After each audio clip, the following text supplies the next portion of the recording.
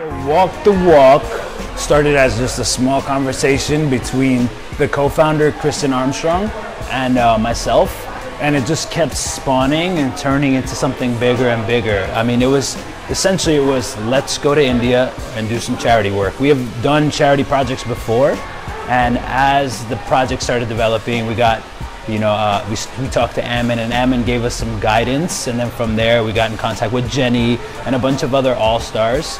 And uh, we realized that I think as a brand we are a group of artists that want to help um, at-risk communities particularly like going to India to the slums. Uh, there's a lot of people that could probably use some inspiration to get them out of their respective elements. So that was that was what we sought out to do, and I think we did really well.